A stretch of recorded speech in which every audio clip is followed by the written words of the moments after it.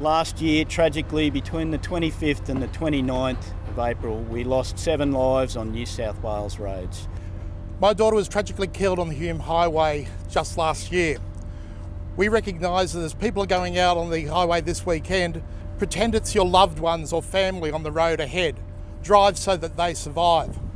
This morning's demonstration, we wanted to make a clear message about what happens in a collision. It will take a sedan behind me 150 metres in an emergency braking situation to stop.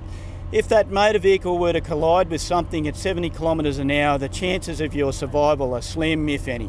This weekend, we expect, you know, a long weekend, an Anzac Day, and the end of the school holidays will all collide together and people will use extensively the New South Wales road system. We have 1,200 Highway Patrol, crash investigators, and technical support people available to launch onto the road system this weekend. So we're warning motorists this weekend police will be out in big numbers. Emergency services will be supporting us this weekend. The message is take your time if you're travelling on a journey. You need to plan it. You need to wear a seatbelt travel at the speed limit and don't drink and drive.